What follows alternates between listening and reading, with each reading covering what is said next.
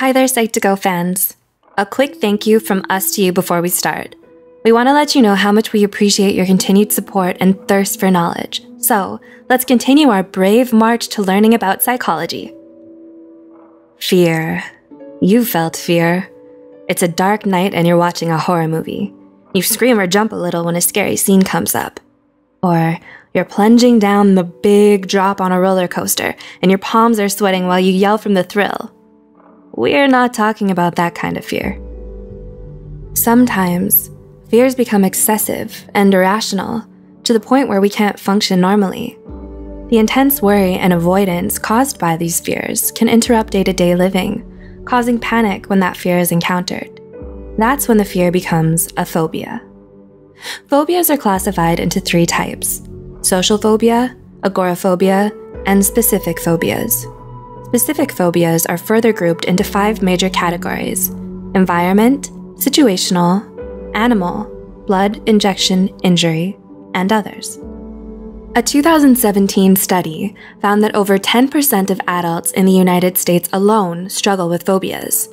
This makes phobias the most common psychiatric illness among women and second most common among men. Curious if you have a particular phobia?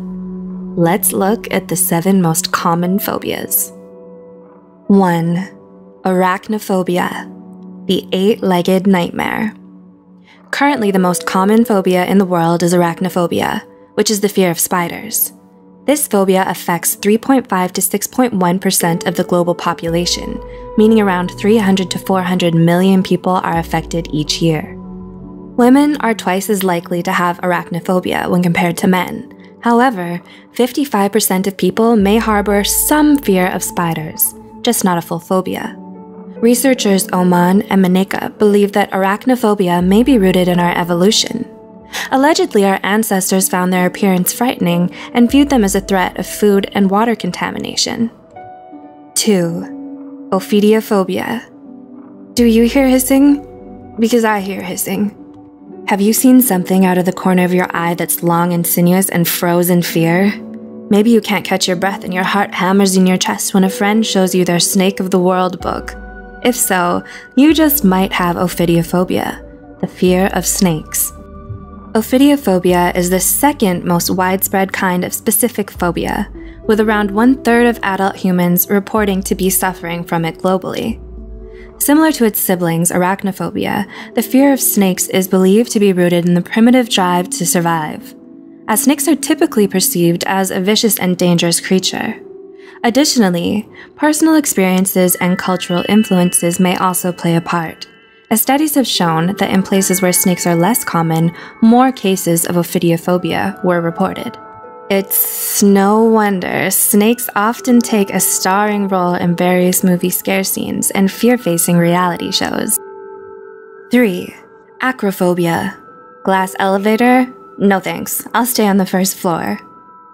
Affecting more than 6% of people globally, the fear of heights is another common phobia many of us have. This phobia's official name is acrophobia. No, we're not prejudiced against acrobats or other high flying performance professionals. Intuitively, it makes plenty of sense why we'd learn to be afraid of heights. The research alleges that this phobia may be the result of an evolutionary adaptation, like many things. This adaptation developed to help keep us from falling to our deaths. A little of this can be helpful to prevent us from taking unnecessary risks. However, if it gets out of hand and escalates, it could lead to extreme daily difficulties. You might have a severe aversion to common structures such as bridges, towers, steep staircases, and other perceived high places for fear of triggering a panic attack. So, take a deep breath, grab a buddy, take it one small step at a time, and let's look at the next phobia. Or, aerophobia aka, so how long will it take to get from California to Tokyo? By car?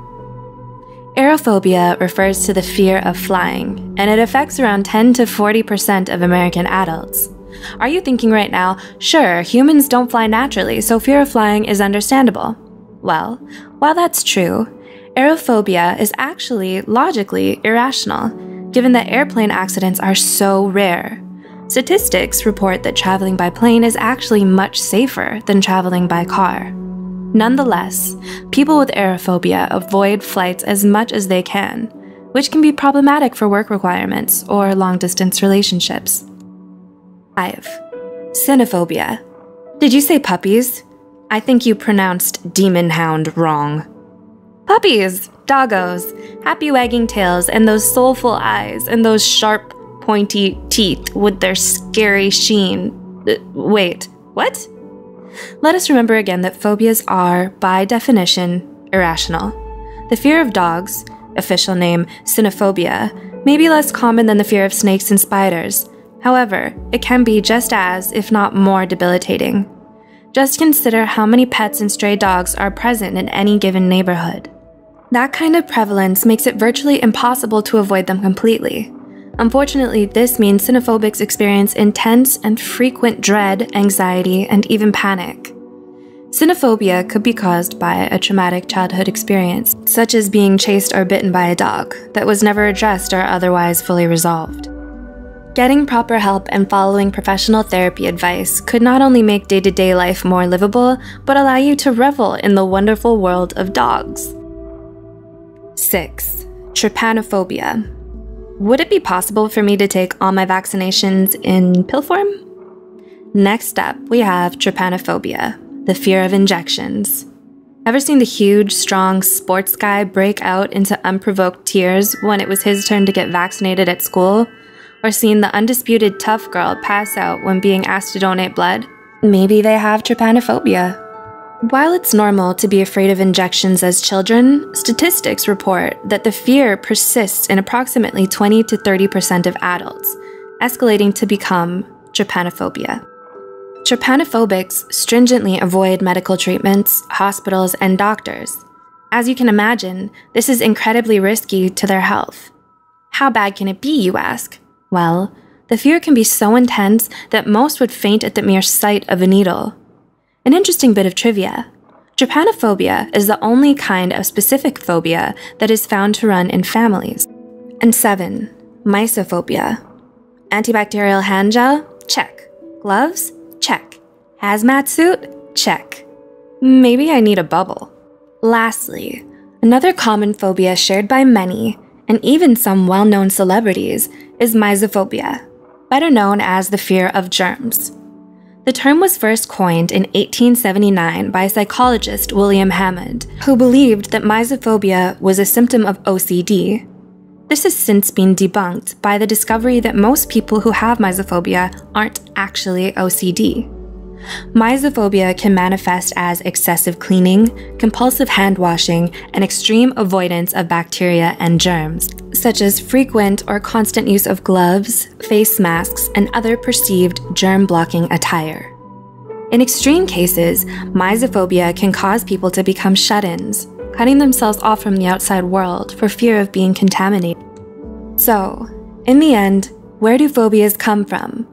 Well, according to the American Psychological Association, phobias typically emerge during childhood or adolescence, persisting into adulthood.